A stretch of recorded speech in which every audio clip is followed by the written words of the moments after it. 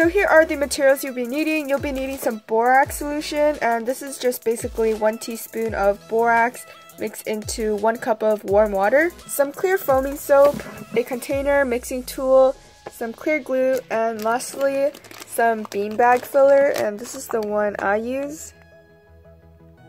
Start off by pouring in your glue and I'm going to make a small batch. Then you want to pump in some foaming soap. If you're using cheap dollar store glue like me, then use the foaming soap because I tried it without the foaming soap and it just turned into flubber. But if you're using Elmer's glue, don't use the foaming soap. So then you could go ahead and mix and since it is the clear foaming soap, it will turn clear once you let it sit for a week. And then you could go ahead and start pouring in your borax.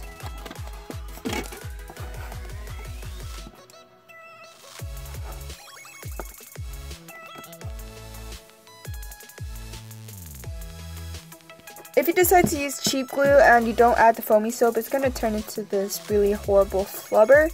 And if you add the soap and it still turns into flubber like this, then just keep mixing in the soap until it's good. Don't do what I did, you don't have to pump up the soap, just pour in the liquid directly. It will be easier to make it more stretchy like so.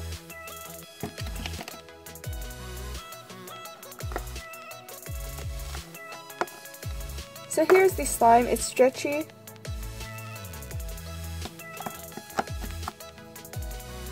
And now you could just go ahead and add your beanbag filler.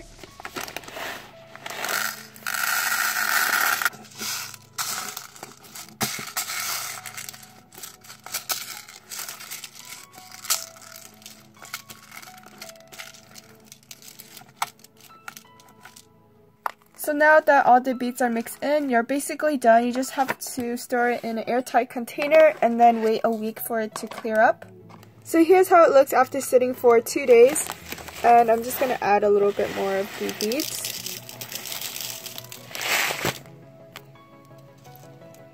So it doesn't exactly look like rice, but it's pretty similar.